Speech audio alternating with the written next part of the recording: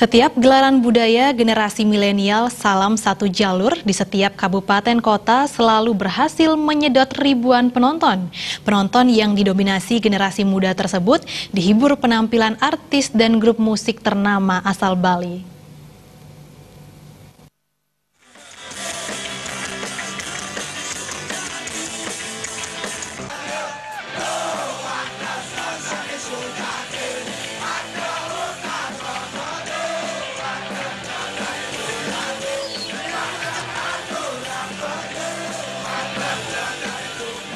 Dalam gelar budaya generasi milenial Salam Satu Jalur di lapangan Taman Kota Singaraja, belasan ribu kaum milenial Buleleng memadati lapangan untuk menyaksikan penampilan artis dan grup musik lokal Bali. Selain penampilan Lolot dan beberapa artis pop Bali lainnya, gelaran ini juga dimeriahkan aksi panggung grup-grup musik lokal Buleleng seperti Join Kopi Band, BNSP, AK Band, dan lainnya.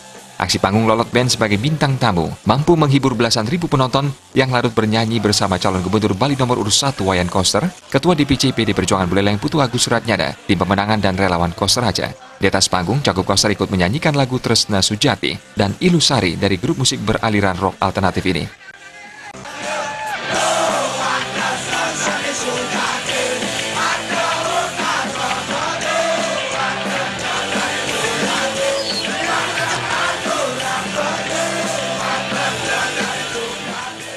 Di hadapan belasan ribu penonton, Cagup Koster mengajak generasi milenial Bali untuk ikut aktif melestarikan seni budaya Bali, termasuk seni musik Bali. Seni musik yang harus kita bangun ke depan, yang menjadi keunggulan bagi generasi muda Bali, khususnya di Kabupaten Buleleng.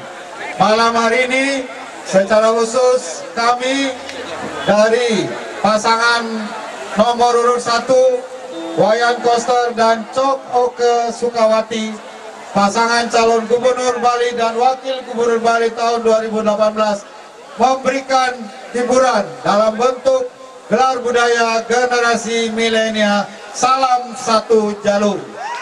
Kami berharap agar pagelaran malam hari ini bisa memberi hiburan sekaligus ikut membangkitkan peran generasi muda kita, generasi milenial kita untuk secara bersama-sama terus-menerus memajukan seni budaya khususnya seni musik yang ada di Bali dan di Buleleng.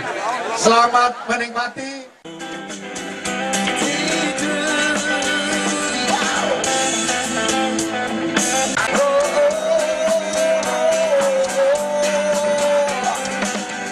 Humas PD Perjuangan melaporkan.